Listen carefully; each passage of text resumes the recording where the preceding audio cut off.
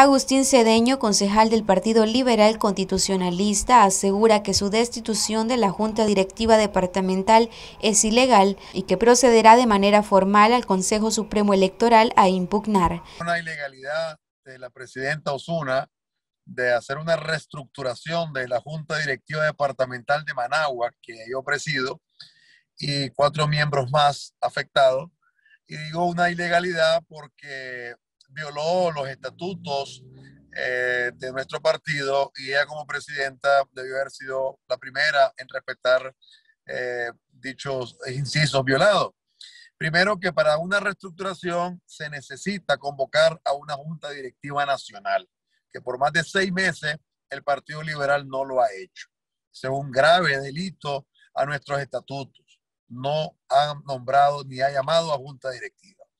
Segunda violación es que cuando vos vas a reestructurar, necesita, además de la aprobación de la Junta Directiva, convocar a la Junta Directiva Departamental actual para dichos cambios. Y tampoco fue convocada.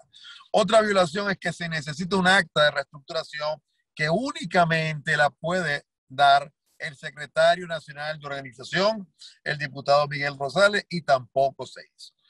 Cedeño afirma que la representante del partido María Ide Osuna busca únicamente su beneficio y esta destitución es una manera de quitar de su camino a personas que piensan distinto. Eh, lamentable la actuación de la secretaria. Una secretaria debe de cumplir con su trabajo de recibir la documentación.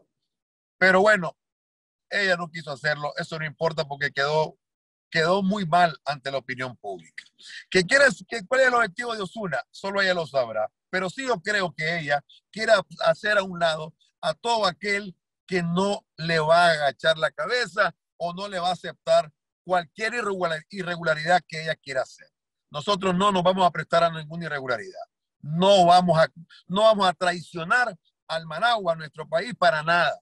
Al contrario, ellos saben muy bien que conmigo no cuentan para cualquier acto ilegal que se quiera cometer, para cualquier irregularidad que se quiera cometer. Yo no estoy para eso. Yo me metí a la política para apoyar a la gente, para resolver el Albanagua, en este caso el que represento, para apoyar a nuestras estructuras que son tan afectadas, tan golpeadas, que gente que ha trabajado noche y día bajo sol, bajo lluvia y nunca ha sido tomada en cuenta. Pero yo no me metí a esto para utilizar a mis estructuras y, jalar agua para mi molino. Por lo tanto, Zuna lo que quiere es hacer un lado a todo aquel que no está con su línea, que no está con su forma de pensar o con su forma de hacer irregularidades para beneficio de ella principalmente.